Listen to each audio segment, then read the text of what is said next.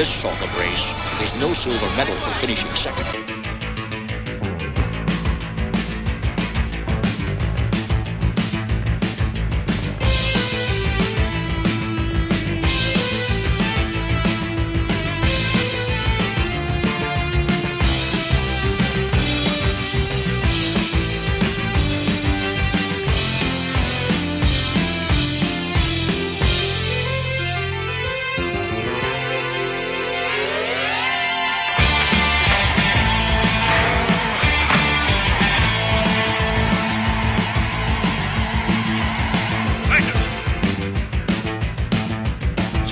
Men on the right pills?